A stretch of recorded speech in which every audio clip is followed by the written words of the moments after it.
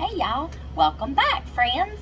Um, if you are new here, thank you for stopping by.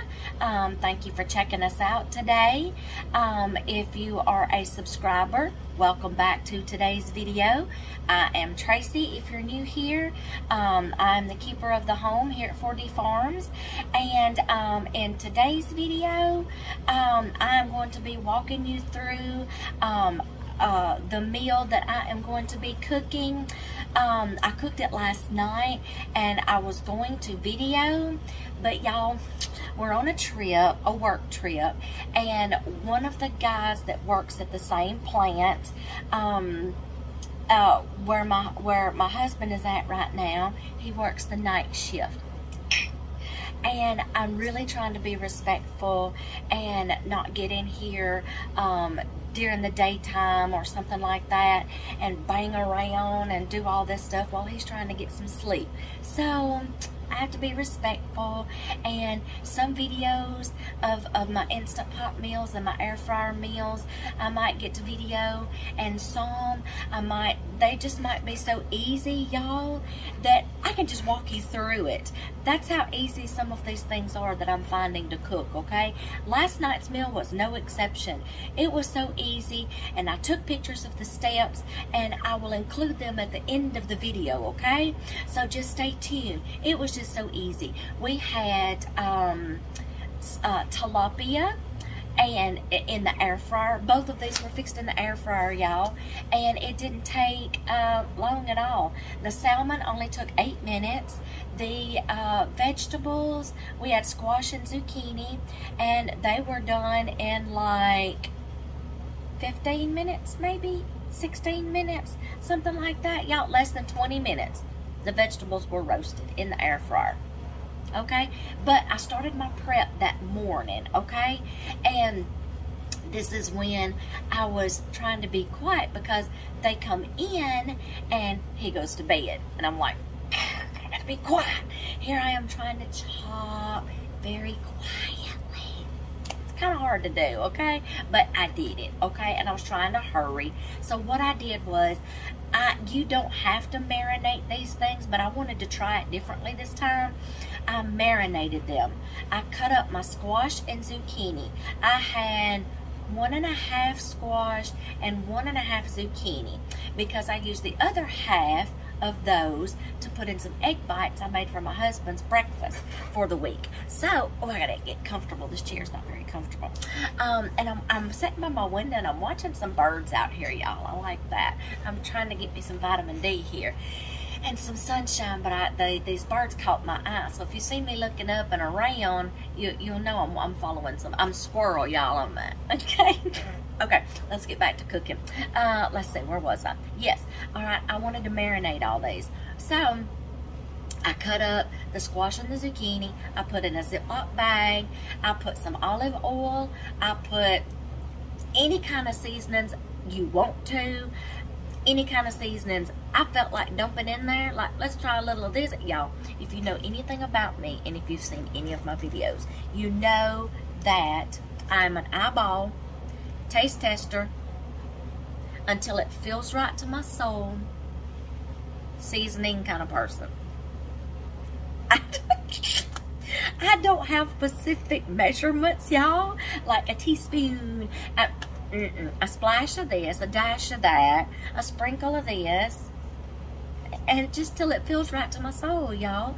And then I can taste test as I go, okay? And then okay that's just me so I put all that in a Ziploc bag. Um, I did put just a little bit of lemon juice and olive oil in there with all my seasonings, salt and pepper to taste, because I like that little wang in my roasted vegetables. Um, if you like a little wang, but you don't like lemon juice, try balsamic vinegar. I might try that next time. That just came to my mind. I'll have to write that down. Balsamic vinegar, um, different things, y'all. You can roast your vegetables in, okay? So I, I closed up my bag, I shook them around real good, and then just set it to the side. I put it back in the refrigerator, actually. I let it marinate all day long, okay? Next, I took two fillets of tilapia. We like tilapia.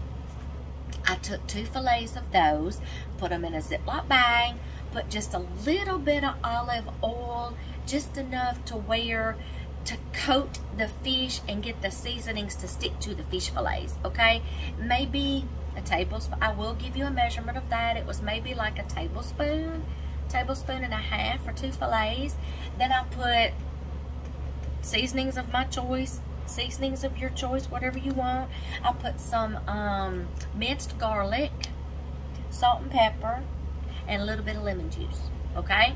So, I, oh, and y'all know my little um, plants I showed you in the last video? I've got basil. I love basil, y'all. I put, I took a sprig of this rosemary. I'm letting these get some sunlight every day and I just watered them so I can come and cut fresh herbs. Okay, I miss my AeroGarden, okay? So, I took a couple of sprigs of the rosemary, stuck it down in the bag, closed the bag up, shook it around. I didn't want to do it too much because I didn't want to break my fillets and have chunks. So, I, I just kind of mushed it around a little bit, rubbed it around a little bit with my hands, zipped it up, put it in the refrigerator. I didn't want the fishy smell in here all day long. So I put it in the refrigerator. Let them marinate all day long. When it got time to cook the supper, I grabbed the two bags out of the refrigerator. I dumped the vegetable, the bag that had the vegetables in it. I dumped it in the basket of the air fryer. Didn't have to spray it or nothing. 375, I think for 16 minutes. If you want, it depends on how you, how crunchy you still want your vegetables, okay? If you still want them crunchy, go less minutes, but you want a little bit of crunch, but a little bit of softness, adjust your times, y'all. I have to play with my air fryer, okay, to get it to like I want it, okay? I can take recipes off of YouTube or Pinterest and go by their time and their degrees, but I still may have to tweak it some, y'all. So you may have to do that. Just, I, I put it on a time.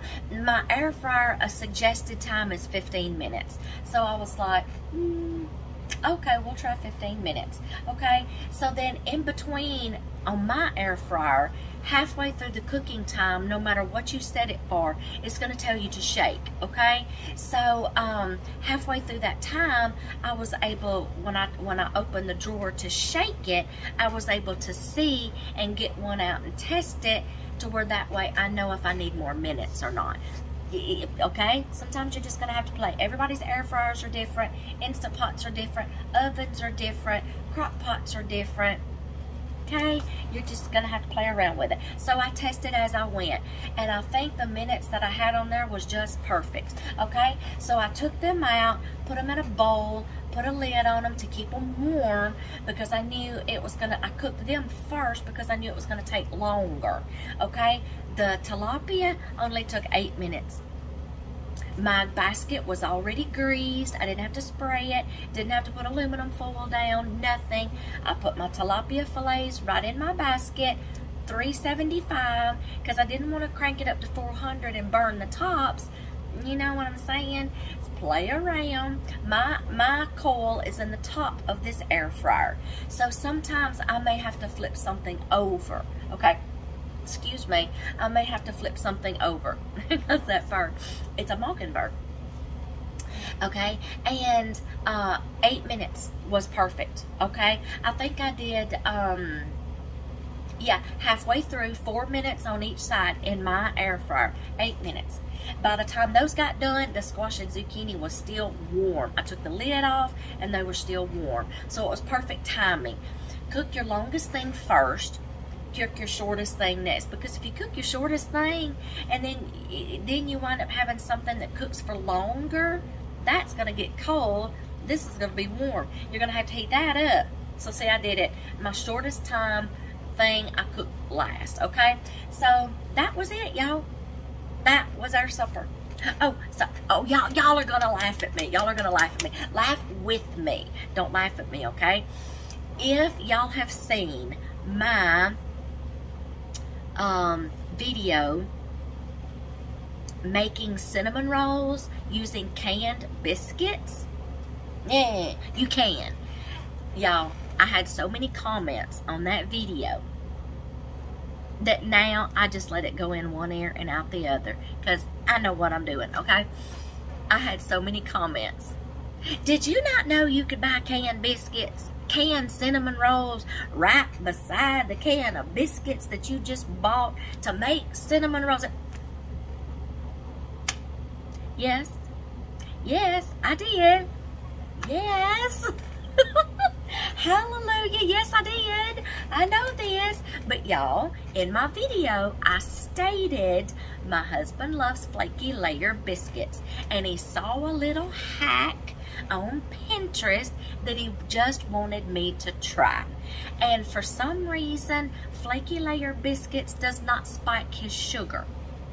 And then he said, can you try this for me? Yes, my love, I can. I will do that for you. That's why I did it, y'all. Okay? So, but y'all, last night or or when I went shopping, y'all know what I bought? I bought a can of canned cinnamon rolls just to make y'all happy. You're welcome. Okay, it was quick and easy. Yes, I could have bought another can of biscuits and made my husband that little treat that he likes, but I don't have the space in here, y'all. I don't have my rolling pin. I don't have anything in here to uh, be creative with and make me a rolling pin, okay, like I had to do in that video. We were not in our house when that video was made. We were in a rent house on a job and she didn't have a rolling pin. So I just got creative and I tried to find something. Y'all go check that video out. Okay, I just gave you a bunch of explanation right there. So you'll know not to ask those questions. Okay, so yes, I did buy a can of cinnamon rolls last night, right beside those flaky layer biscuits that I was so tempted to get for my husband, but I didn't have the room in here last night, y'all. I didn't have the space to roll out all the biscuits, so I just grabbed a can of cinnamon rolls last night, and we had a sweet treat for dessert. So there you go. I did. Okay, so and then I had to laugh at myself. I'm like, you know all the comments that you got on your video, and here you are buying some canned. Uh, yeah, I did. I laughed. I'm still laughing. But y'all, they were just as good. But if I could have done it, I would have done that again for him because that's just how we roll. Random acts of kindness for each other, for the people that you love, okay? That's just what we do. So, I'm fixing to include all the pictures at the end of this video to let you see the steps and what everything looked like. I'm sorry the lighting might not be perfect because there's only a couple of lamps in that corner over there and I'm trying to do the best I can with the lighting in here. I may have to get my lamp out. Um, but I took a picture of the squash as I was doing it in the bag. I'll show you all the steps from start to finish. Y'all try this meal. It came together in prep time, cooking time, 30 minutes maybe. Not long, y'all. Let's see, 16, uh, 15 to 16 minutes for the squash. Mm, eight minutes, y'all, 30 minutes. I put a meal on the table and I only messed up one thing, and that was the air fryer basket. Okay? 30 minutes, I put a meal on the table for me and him. Okay? Air fryers, get them out. Instant Pots, get them out. Y'all stay tuned. Um, if I can, I will video tonight's meal. I might not get to because of when, you know, he comes in and out.